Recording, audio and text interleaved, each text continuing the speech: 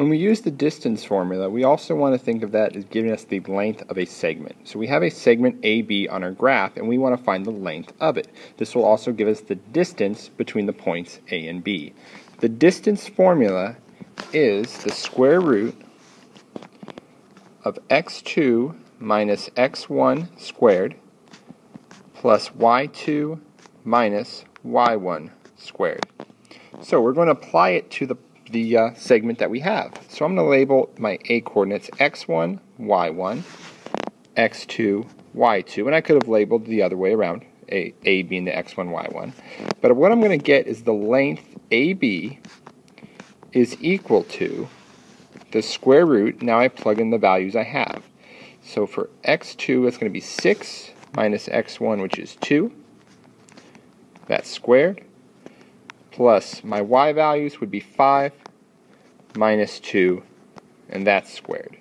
I then go to simplify. 6 minus 2 is 4 squared. 5 minus 2 gives me 3 squared.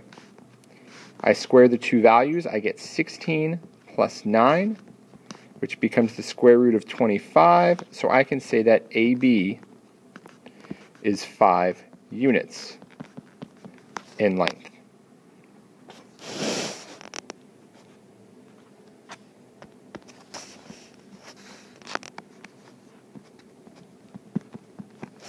Now we look at another one.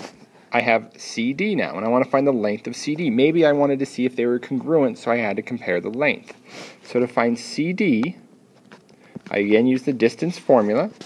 And just to help, I'm going to label x1, y1, x2, y2. And I get 7 minus 1 squared plus negative 3 minus 5 squared.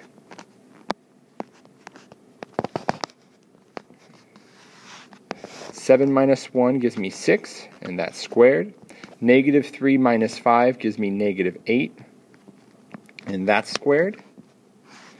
I get 6 squared is 36, negative 8 squared is 64.